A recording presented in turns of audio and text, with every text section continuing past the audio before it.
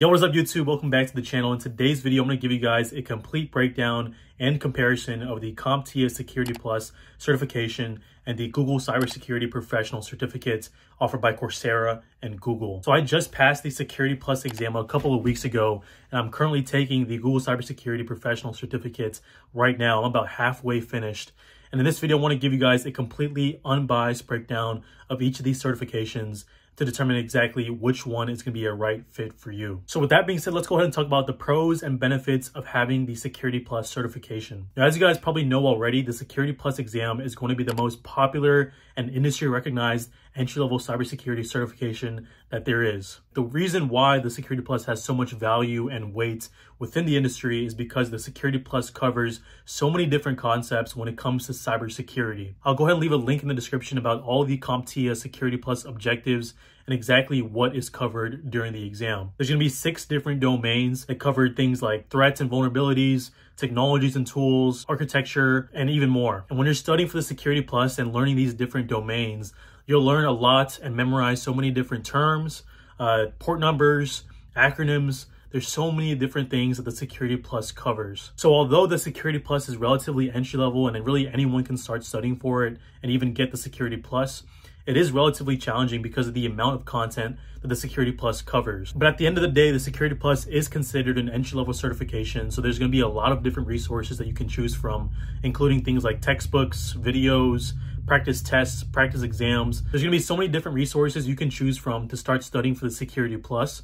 I'll go and leave a link in the description below to the video about how I study for the Security Plus as well. Now, once you study for the Security Plus and you actually pass the exam, you can throw that on your resume and that's going to be a huge boost for your resume when you're looking for entry level roles. Being able to get the Security Plus and having it on your resume is going to show potential employers that you're willing to spend the time and discipline to study, improve yourself, and also learn different cybersecurity concepts. Now, with that being said, some of the main downsides with the Security Plus is the fact that there is so much to study. The Security Plus exam is only comprised of 90 questions, and I was tested on a bunch of different concepts, and a lot of the, the concepts that I did learn from studying for the Security Plus wasn't even asked for on the actual exam. In addition to that, the Security Plus exam voucher costs $392, but there are a couple different ways to circumvent this issue by doing it through your employer and getting reimbursed, or doing it through your school, or using a student discount. In addition to that, studying for the Security Plus makes you go over so many different terms, but you don't really gain any technical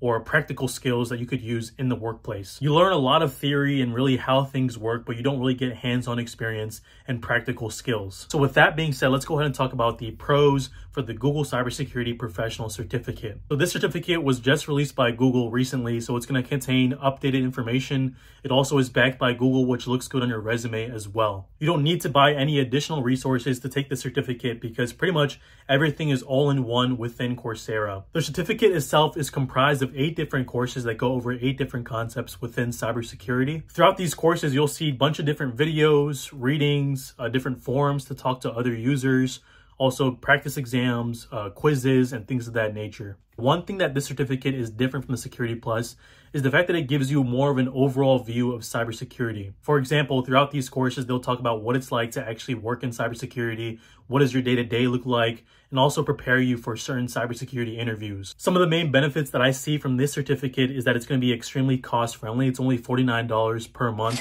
and you only pay for what you use. So for example, if you finish the entire certificate in one month, you'll only pay $49. If you finish it in two months, it'll be about $100 and so on. Another main benefit is that it's extremely beginner friendly. Um, it's not as difficult as I would say for the Security Plus and also walks you through at a slower pace. Throughout taking this course, you'll also learn some practical skills like Linux, SQL, and Python, and these are going to be important tools to have when entering your first entry-level cybersecurity job. And last but not least, the Google Cybersecurity Professional Certificate was created in order to prepare you for the Security Plus exam as well. So they'll give you a 30% off promo code coupon to use when buying your Security Plus exam voucher. So let's go ahead and talk about the main disadvantages of this certificate. First one is going to be it's not as industry recognized as the Security Plus. First of all, because it's really brand new and also because it's relatively easy to complete. In addition to that, this certificate doesn't cover the same amount of cybersecurity concepts that the Security Plus does. So overall, to sum it all up and to give you guys my final recommendation,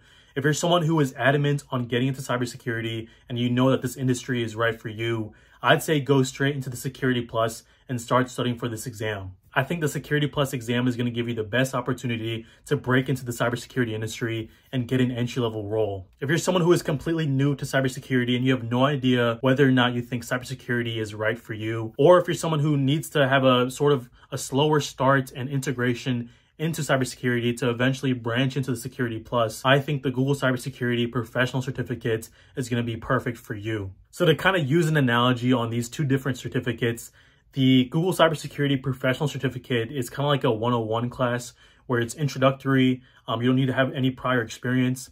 While Security Plus is a little bit more advanced, it's like a 200 or 300 level class that you might have to commit more time to, study for a longer period of time, and eventually pass the exam. So depending on where you are in your cybersecurity journey, whether you're brand new or you're considering going into cybersecurity, these are going to be the main points that you need to consider when choosing which certificate to go ahead and get started. I hope this video gave you guys some value and some clarity on where to start your cybersecurity journey.